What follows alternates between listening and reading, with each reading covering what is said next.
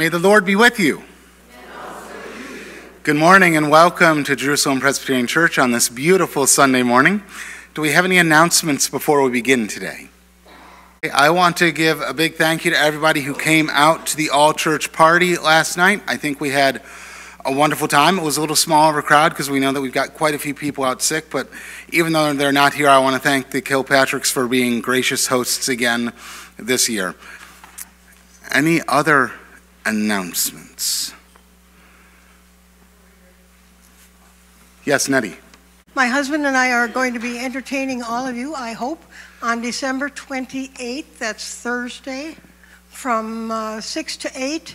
We're celebrating our 60th wedding anniversary.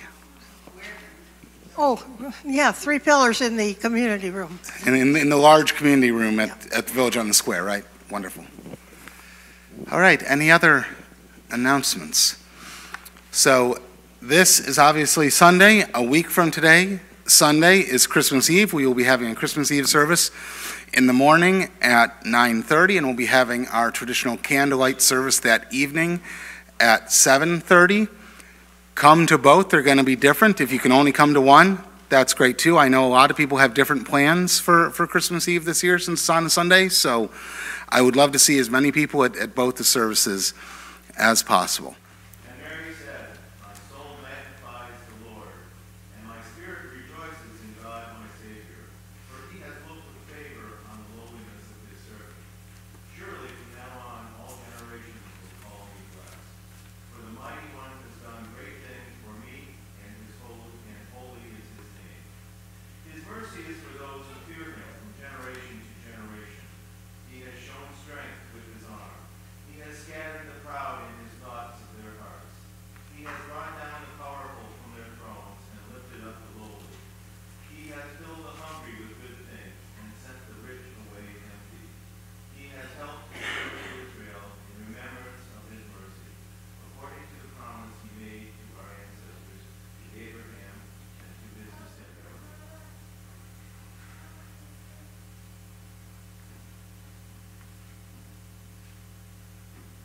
The first reading is from 2 Samuel.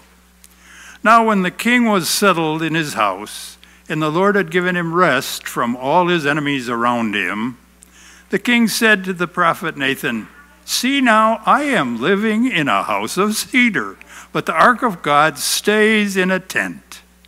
Nathan said to the king, Go, do all that you have in mind, for the Lord is with you. But that same night, the word of the Lord came to Nathan Go and tell my servant David, Thus says the Lord, Are you the one to build me a house to live in?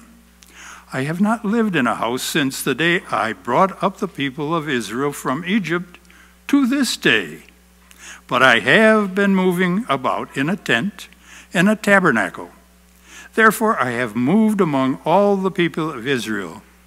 Did I ever speak a word with any of the tribal leaders of Israel, whom I commanded to shepherd my people, to shepherd people Israel, saying, Why have you not built me a house of cedar?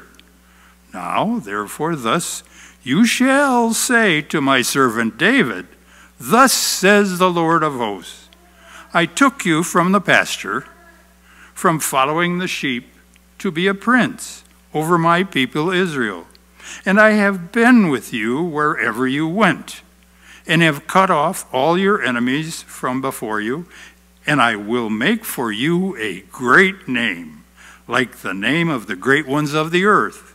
And I will appoint, appoint a place for my people Israel, and will plant them, so that they may live in their own place and be disturbed no more. And evildoers shall afflict them no more as formerly from the time that I appointed judges over my, over my people Israel, and I will give you rest from all your enemies. Moreover, the Lord declares you that the Lord will make you a house. Your house and your kingdom shall be made sure forever before me. Your throne shall be established forever. So ends the reading. Let us pray.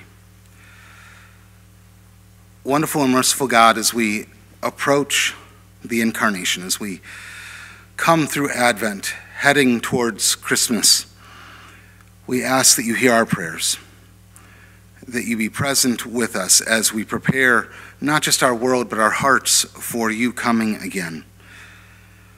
We pray this day for all who are battling illnesses and ailments, for all those who are having surgery, for all those who are recovering. We ask that you be with those, especially who have cancer, and we pray especially today for Becky as she continues to undergo chemotherapy. We ask that you keep her strong and also uh, keep her spirit up. We pray this day for your whole church family, for all those who are gathered here and for the merriment of the season, but we pray also for those who are needing your spirit, for those who are called to be your hands in this world. We pray this day for our leaders and leaders around the globe that they may find your peace, that they may lift up your joy, and they may lift up your love we ask that you be with not just the things that I've spoken out loud and all the things that are spoken by everyone here, but the prayers that are deepest within our hearts, the ones that go unmentioned because they are so deep that we are reserved even to utter them.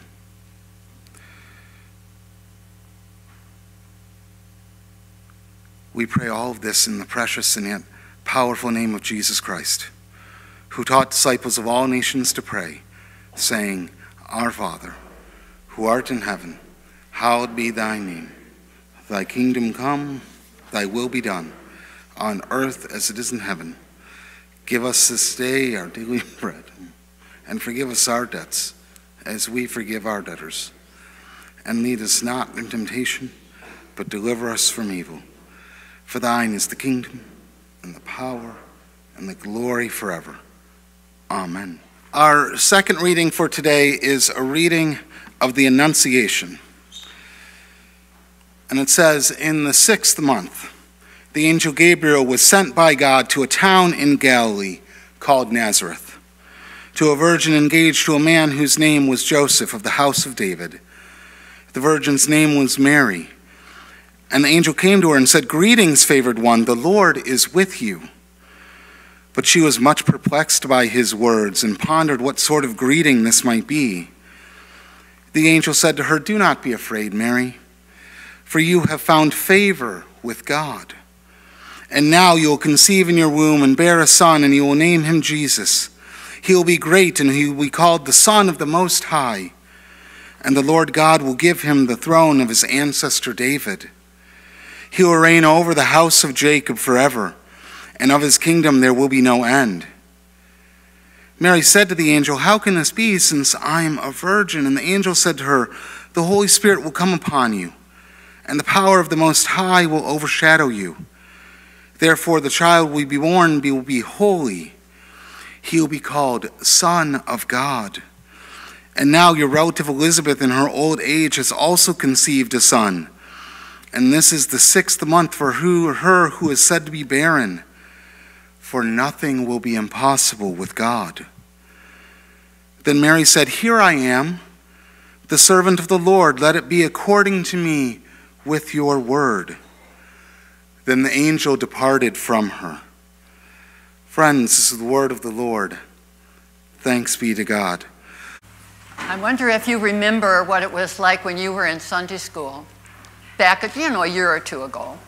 Um, our, our play this morning deals a little bit with the differences in ages. So, what we have this morning is we will have some preschoolers and early primary students who are trying to actually say the words and, and read when they don't read. So, that's, that's, that's part of the story. The other part is the little bit older children who are going to be um, not so much doing the actual birth story as they're going to be talking about prophecy and the prophecy of a Messiah coming. That's what they've been learning about, and we're going to try to apply that today. The, the play goes back and forth between the two groups, and we're hopeful that it will not have too many ad libs or interesting kinds of things that don't have anything to do with it. We've been tying up the, the information that we have in the Old Testament, the discussion about the prophets. Zach, will you remind us what a prophet was? A prophet at that time um, spoke for God. Sometimes it was about what was happening right then, but sometimes it was in the future. Ah, that's right. So then, Mackenzie, what would a prophecy be? It would be the words that the prophet used to tell the people what God wanted them to know. Sometimes it was for right then, but it was often to tell about something that would happen in the future. Hmm. Then, Henry, how do we know that a prophecy is real or something that someone made up? It's real if it actually happens like the prophecy said it would. Ho ho, you guys are perfect. Now, since we're getting so close to Christmas, we're going to see if we can apply what we know about prophecy and whether it was correct that the birth of Jesus was the birth of the Messiah that people had been waiting for. The Messiah was supposed to be a descendant of Abraham, and that all the families would be blessed. Well, we know that we can trace Jesus' ancestry all the way back to Abraham, and our world is certainly blessed by his coming. So, can we say that this first prophecy was fulfilled, everybody? Yup. We're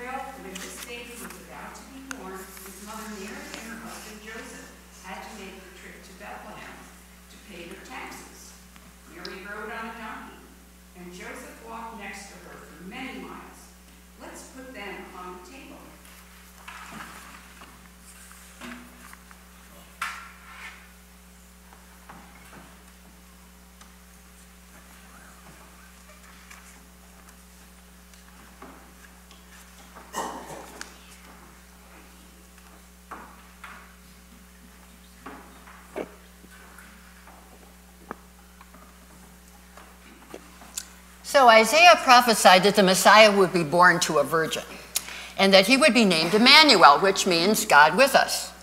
Does this fit up with what we know about Jesus? How many names did Jesus have?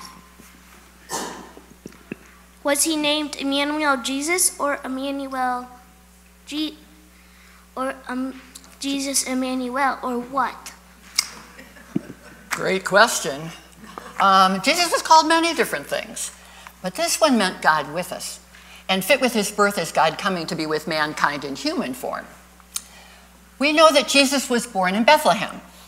Is there a prophecy that said that the Messiah would be born there, Mackenzie?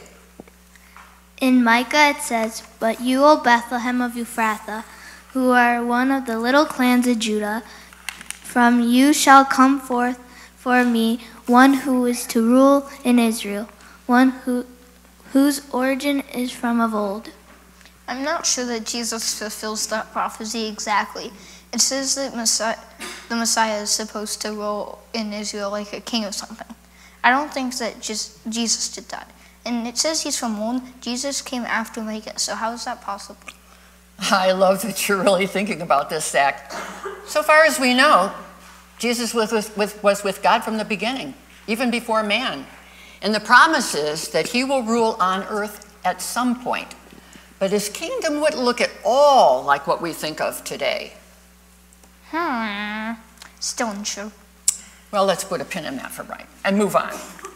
What happened to Mary and Joseph when they got to Bethlehem? Did they stay in a Hilton resort hotel? I got to stay there too.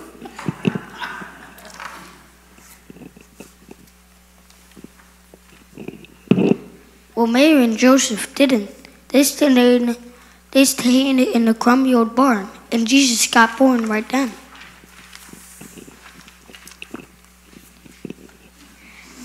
Yeah, and Joseph stood right beside Mary, so she wasn't getting scared of those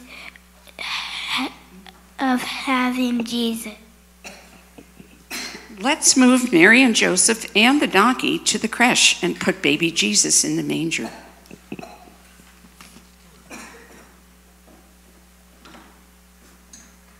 Nice job.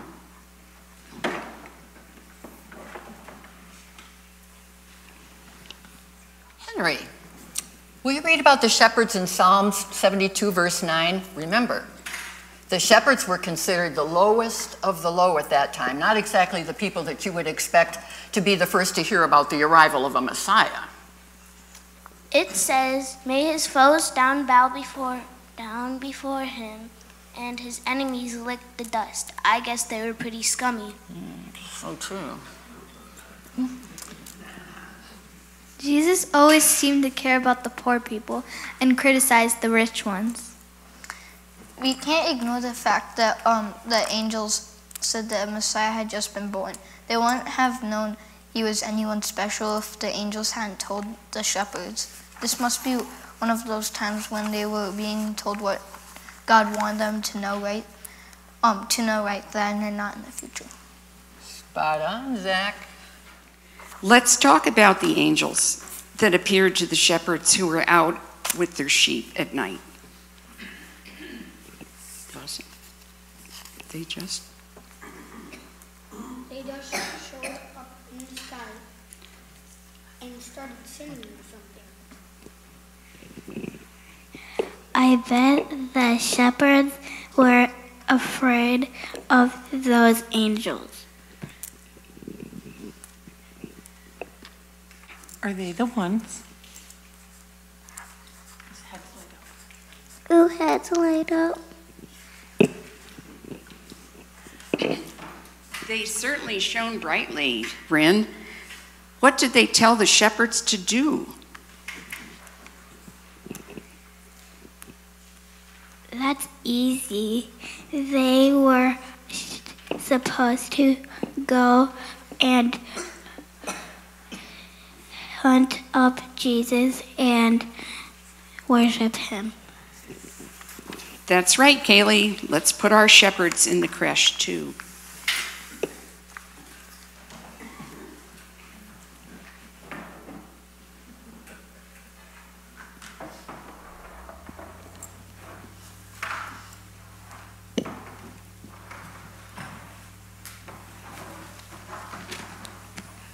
Mackenzie, will you read us the prophecy about how the Messiah would come and what power he would have? In Isaiah it says, For us a child is born, to us a son is given, and the government shall be upon his shoulder, and his name shall be called Wonderful Counselor, Mighty God, Everlasting Father, Prince of Peace. And Henry, read us what Jesus read from Isaiah. Watch This- this. The Spirit is upon me because he has anointed me to bring good news to the poor. He has sent me to proclaim Please, release to the captives and recovery. recovery of sight to of sight to the blind and to let The oppressed. the oppressed go free to proclaim the year of the Lord's favor. Does that fit with our description of what Jesus was like? Yeah, it sounds like what Mackenzie said a nice guy with lots more names. Let's see what Balaam prophesied about the wise men who came to worship Jesus. And who was Balaam? Well, he was a soothsayer. He was, he was a fortune teller who could predict the future, but he apparently was in the know about God. Zach, will you read us what it says way back in the book of Numbers? It says, I see him, but not near. I behold him. Oh, wait. I see him, but not now. I behold him, but not near. A star shall come from forth from Jacob. A scepter shall rise from Israel. Let's stop there. Since the prophecy is from Numbers, could it pertain to Jesus? I think so. After all, it's the star that led the Magi to visit Jesus. What do we know about the Magi that came to visit Jesus? Were those the wise guys? Uh, they were actually pretty smart, Dawson. They were men who studied the stars and tried to understand how they moved. I know that they were the ones bringing ex- ring- very expensive gifts fit by visiting Jesus. That's right, Kaylee. They brought gold and frankincense and myrrh. Did they get down on the ground too? They did worship Jesus, Bryn. Sometimes people bow down really low when they worship. Shouldn't we put the wise guys in the barn too? We aren't going to do that yet because the wise men didn't actually get to Bethlehem while Jesus was a new baby. It took them some time to get there. Is he as big as me? Maybe that not that old, Bryn, but he was not a brand new baby either. So, guys, as of right now, can we say that we think the prophecies pointed to the birth of Jesus? I Probably. guess. I guess. Let's gather our stuff up and get ready to go. I think we know quite a bit about Jesus' birth. We'll do some practicing over the next few weeks, and we can tell the story for your parents. Okay, gather up your stuff, guys.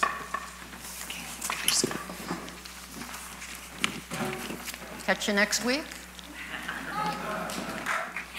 How did it go? I know you were wondering if the connection would be made to the prophecies. Well, I think it went pretty well, except maybe that king business. Well, we probably have to sort out the age of Grandpa, and the angels having heads that light up, and oh, yes, the wise guys. Hey, tell me about those wise guys. You know, I love the way Dawson says things, and I bet that was Dawson that said that, was it? Okay,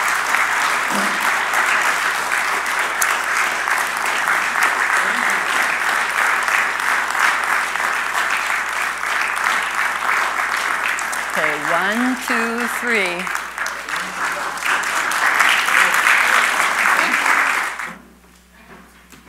Did, did I miss my entrance? So, we have had such a wonderful time today. Uh, I hope that the kids will come back on up so y'all can chat with them about it. Uh, I'm grateful for Jane and for Marge and all their leadership, for all the, the parents that came out yesterday and brought their kids yesterday to uh, the, the rehearsal. And just grateful for the Christmas season, for the joy in being able to tell the story as we pass it on through the generations. So receive the benediction. May the Lord bless you and keep you. May the Lord's face shine upon you. And may God hold you in the palm of God's hands from now and forevermore. Amen. Go in peace.